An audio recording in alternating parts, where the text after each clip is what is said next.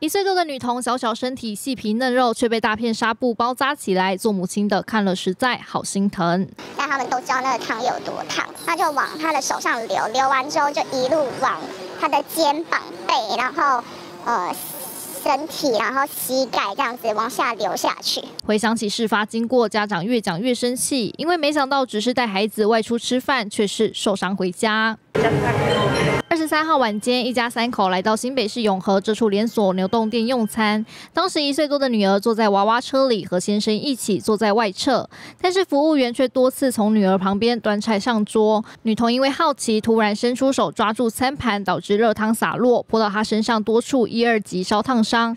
不过店家的态度却很冷淡，是非常的傻眼，尤其是他们就是事后处理的态度，其实并没有那么积极。送餐的就是做餐好出来要的店员，还跟外面那个要帮忙装水的店员说：“你们先不要理他们啦。”这样子。家长控诉，明明当下周遭还有空位，店员却坚持要从女童那一侧上菜。后续对于赔偿损失更是消极处理。店家有没有规范？当发生烫伤或是意外事故，这个店里面应该处理的 SOP 处理的行为准则。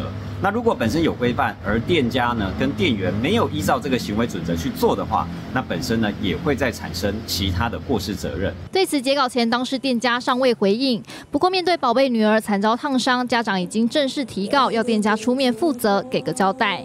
新新闻综合报道，立刻下载静新闻 App，一手掌握新闻时事，尽善尽美。静好新闻。